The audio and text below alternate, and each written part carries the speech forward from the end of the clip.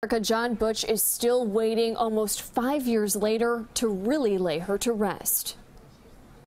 You can see the pain of his story on his face. A father who outlived his daughter. I'm fairly stoic about these things, but it's painful. 26 year old Alexandria died in 2014. And while John Butsch thought the family was honoring her wishes, donating her remains only led to more heartbreak. The organization they chose, the Biological Resource Center of Illinois, raided by the FBI months later. We had gotten some of uh, Alexandra's ashes returned to us. We have no way of knowing whether or not these are her ashes. Well, in fact, we're pretty convinced they're not because. Why do you say that? Because she's in a freezer in Detroit. Investigators confirmed most of her body is among what was removed from the Biological Resource Center during a raid. Brought to a federal holding place in Detroit, where the case is being investigated. Well, If they had cremated her, there would be no parts to take to Detroit. Those ashes uh,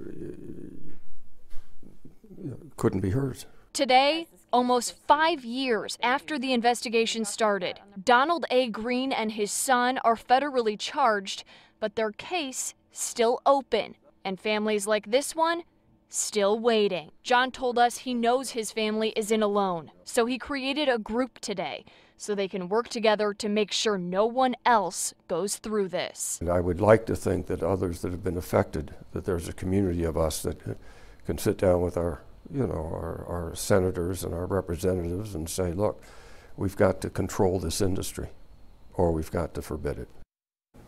Now, the Secretary of State, Jesse White, responding to our reporting this story in a statement tonight. Quote, the federal allegations against the Greens speak to the conduct that violates all laws of human decency.